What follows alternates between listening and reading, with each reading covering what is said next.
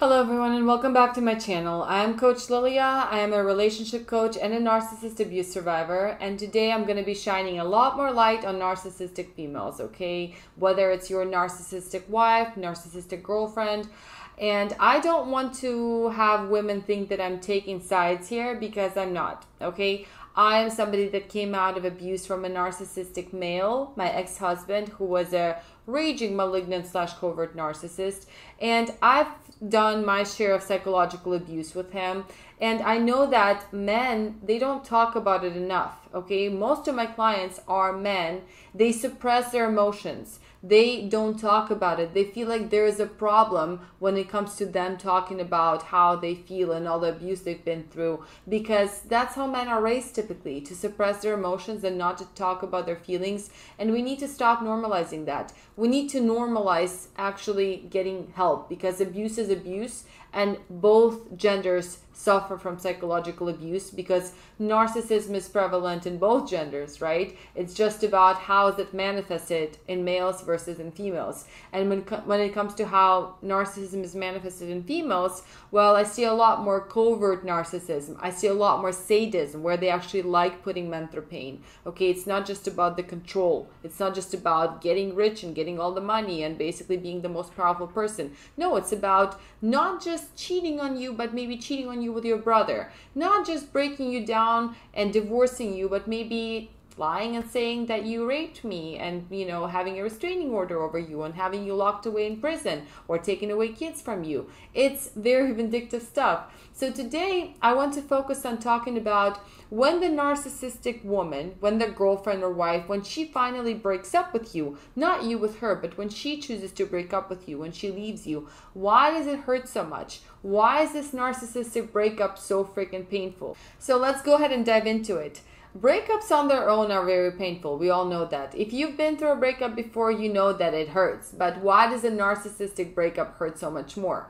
My male clients always come to me and say that, you know, she's been cheating on me, she's been doing X, Y, and Z, she maybe was psychologically abusing me, physically abusing me, devaluing me, and so on. I know she's bad for my health, and now she left me. Why do I want her back? Why does it hurt so much? Well, because she got you addicted. That's the trauma bond, the word we use over and over again, right? The term trauma bond, it's there. Now, you're probably somebody who comes from trauma yourself, and that's why you formed that codependency with a narcissistic woman.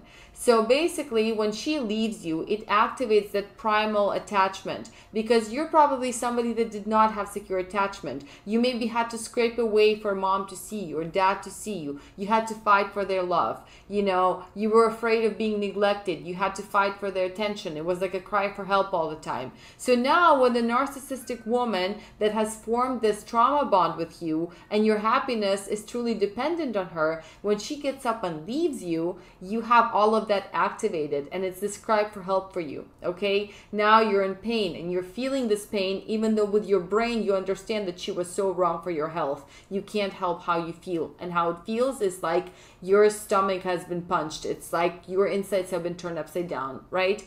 I know how that feels and that trauma needs to break because you cannot have your happiness depend on another person. Narcissist or not, you need to find that happiness within yourself, and that is where that healing comes in. Okay, let's move on to our next one here. Number two is the fact that you are completely confused after this woman leaves you because she has probably gaslighted you, telling you, threatening you that she's to leave you so many times at this point that when she finally does it, you're like, why did this happen this time? What have I done wrong? And you start internalizing it and you, you feel so confused. You feel like you're the problem that made it happen. And she's put it in your head so many times, probably, that you're the narcissist, that you're the problem, that you're the one that's abusing her. And you believed her. And now, when my clients come to me after these women leave, after this narcissistic woman has moved on to new supply, they come to me and they say that am I the problem? Am I where she left? And then we track things back, you know, from love bombing to devaluation to now discarding. No, you're not the problem. Stop feeling like you're the problem. I want you to stop internalizing it as you are the problem because we can pinpoint all the times that she has abused you, whether it's psychologically, physically, both, all the times she's cheated on you, all the times she's manipulated you. So, how can you sit there and feel like you're the problem? I know one thing when you're in a loving relationship, you don't feel like you're the problem. So that confusion needs to go away. Number three is the hope that you're attached to. That's why this narcissistic breakup hurts so much because you cannot detach yourself from the hope of what could have been. Because let's be honest, this narcissistic woman got you so sucked in because she has made you think that this kind of intimacy and connection that you guys share is something you can never find again. She analyzed you in the beginning and she has made you feel like the connection that she's got with you is on another level. And a lot of my clients will come to me and say, you know, Lily, uh, this woman, I really felt like I could save her. I really felt, she told me that the kind of connection that she feels with me, she never has felt this with anyone else, that she has never opened up about these insecurities with anyone else.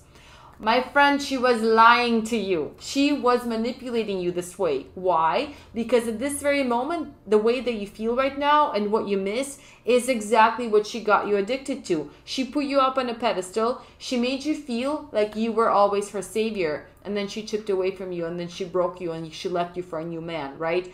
She doesn't love him either. He's her new supply, but we'll get into that. So, yes, what you are why you are hurting right now is because she truly made you feel like you guys share a special connection and you had that hope that if she would just see you for what she used to see you in the beginning things would go back to normal. But no, nobody flipped the switch but her. Why? Because this is what she does. She puts you on a pedestal and then she destroys you and she feeds off of that pain. And now that she's gone, one day you look back and understand that this is the best thing that's happened to you. Okay?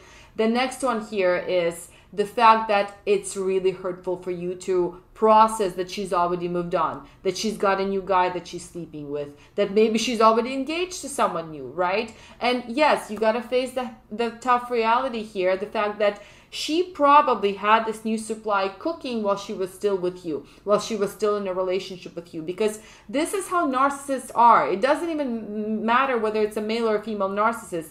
When a narcissist leaves, it's because they already have something better transactionally, of course, right? So she's probably onto a new guy that's got more money and that can take all of that from her for now. She's love bombing him, right? She's telling him how you're the problem and you were probably harassing her and, you know, I don't know, whatever bad thing she could tell him about you, she's doing it, okay? So please don't feel terrible that she's with someone else. You should feel happy because if she's on to someone else, at least she won't be as vindictive towards you as she has some time frame to forget about you while she's focused on this new supply. Okay? I know it hurts like hell processing the fact that she was cheating, that she had another guy, but this is the tough reality. Except that there was never love towards you, and there's no love towards this new guy. He's just her new supply, and he's gonna end up in your shoes down the road when she finds someone new to move on to. Okay? And last but not least is the fact that you don't have a self, a, sense of who you are anymore, right?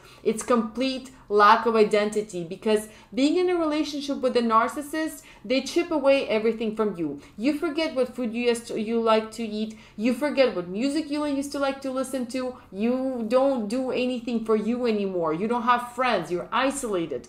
And that is exactly what they wanted to do to you. Why? So that at this very moment, when she left you, you don't have any support to go to. You're alone. And it hurts like hell. And now, if you go to your friends, you might think that they've seen this back and forth situation for so long that if you go to them, they'll say, Hey, man, we've told you from the start. Or what she might do is she might actually badmouth you to everyone. So you won't have a support system because of that, okay? Because she will say terrible things about you and people will believe her because narcissistic women are perfect actresses and they can turn on that covert narcissism and basically play the victim card and then you're going to look like the bad guy and that's where their relationship ended. Long story short, that lack of support and of course, you know, just not having a sense of identity anymore. You don't know who you are anymore. Now, let's be real with ourselves. When a narcissist breaks up with you, you want revenge. You feel angry, but you kind of want the bag because the trauma bond is there, right? What I want you to do is I want you to take all of this pain and I want you to channel it into self growth because I know that if they dump you, you want revenge on them, right? You're so angry because you've put up with everything for so long, you had hope for so long, and they finally left you, and now you're broken, you're destroyed, but you still want them back. So, what I want you to do, I want you to take all of this pain and channel it into self growth. Because guess what? There is nothing better, there's no better revenge, especially from a narcissist, than to channel all of it into self growth and succeed you know, channel it into your intellectual self growth, into your physical self growth. Do something healthy every day. Eat healthier, start working out, going to the gym, going on walks, connecting with nature, and do something intellectually stimulating every day. And another step I want you to take, because I know you're hurting, I've been there. You want to write down all the terrible things about this relationship. And you might even cry a little as you're doing it. You might cry a lot actually. But I want you to take a piece of paper and I want you to actually Write down all the time she devalued you, all the time she lied to you, all the time she made you feel like a lesser human being, all the time she made you feel like you're the problem, all the time she chipped away from you, maybe all the time she cheated on you, when she left you, when she dumped you, when she inflicted pain on you. Write all of that down so that you are reminded that there's nothing to miss in that relationship, okay? And then what I want you to do, I want you to take another piece of paper and I want you to write down all the things you want in a loving relationship. All the things you want from a partner that's going to be kind to you, that's going to be your best friend, that's not going to chip away from you, that's going to support you. You know, a normal loving relationship. Write down all of your expectations and requirements from a normal loving relationship because you cannot want something when you don't have an idea of a loving relationship, when you don't have an idea of a loving partner. You need to visualize it, verbalize it, put it on a piece of paper. And then when you're going to miss them, when that trauma bond's going to come knocking, I want you to take the two lists and compare and understand the freaking discrepancy between the two. What you had never would have been what you want and what you actually desire, okay? And what you should have because you're probably not the abuser. You've been abused, so you're probably the giver in that relationship, right? And you deserve to have that loving relationship. But what you had never would have changed. Have that radical acceptance. And maybe it's going to hurt a little bit less when you compare the two and when you understand that the entire relationship was a lie.